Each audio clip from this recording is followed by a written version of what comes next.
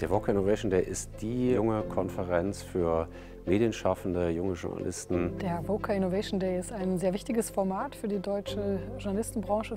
Der Innovation Day von VOCA hat ja den Charme, dass man unglaublich interessanten Leuten begegnet, die alle eines antreibt, nämlich Innovationen in den digitalen Journalismus zu bringen. Leidenschaftliche Angelegenheit für alle in der VOCA-Familie. Sehr kontroversen Debatten mit drängenden Fragen. Wie kann sich Journalismus verändern? Wie sollte sich Journalismus verändern? Zu innovativen Denken. Motivierend und inspirierend im besten Fall für die ganze Branche.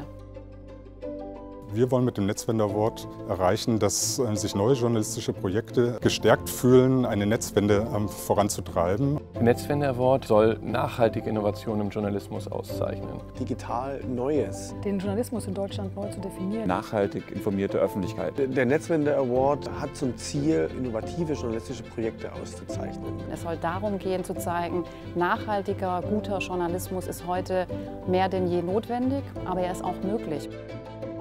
Mit dem Gewinnerteam zeichnen wir Journalisten aus, die wirklich mit Herzblut bei der Sache sind, voll für ihre Idee, voll für ihren Beruf brennen, voll für ihre Mission brennen. Muss besonders originell sein, innovativ. Das hat uns so beeindruckt, dass wir quasi gar nicht anders entscheiden konnten. Und wir haben einen ganz, ganz großartigen Preisträger gefunden.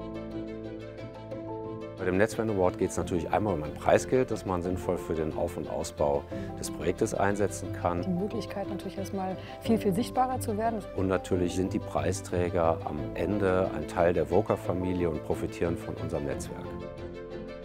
Ich muss gestehen, ich werde ganz krank, wenn ich im Netz etwas über Gesundheit suche.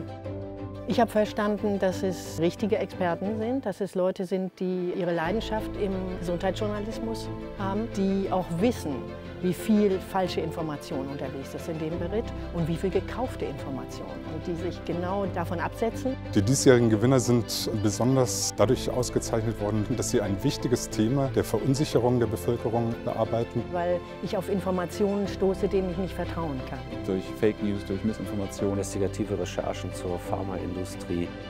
Lügen, Lug und Trug sozusagen in einem ganz, ganz wesentlichen Feld, das uns alle angeht, das uns alle tagtäglich, viele tagtäglich bewusst oder unbewusst beschäftigt, aufzuklären. Sie ähm, berichten über ein Thema, was wahnsinnig wichtig ist für unsere Gesellschaft. So, liebes Duo, jetzt seid ihr an der Reihe. Kommt bitte auf die Bühne, liebes MedWatch-Team.